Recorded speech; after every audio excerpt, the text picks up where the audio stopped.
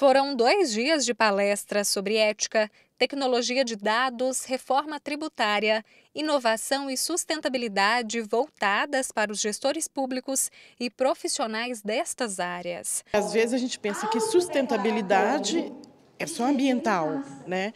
E, na verdade, ela abriu o tema com sustentabilidade empresarial, tributária e várias outras formas de sustentabilidade. O primeiro Fórum de Governança Pública aconteceu na cidade de Uberlândia em 2021.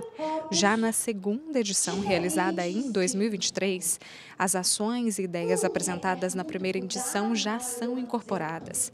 O objetivo da edição deste ano é falar principalmente sobre sustentabilidade. O evento reuniu pessoas da cidade de Uberlândia e também de diversas cidades da nossa região. O fórum faz parte das ações do Comitê de Governança Pública e da Comissão de Ética Pública Municipal. Já tivemos aí nossa publicação do nosso código de ética, implementação também de compliance dentro da prefeitura que é um legado para ficar na administração pública municipal. O objetivo do serviço público é um, servir a população da melhor maneira possível. E isso é ser ético. E também ter uma dimensão do todo, e isso é ser integral e íntegro.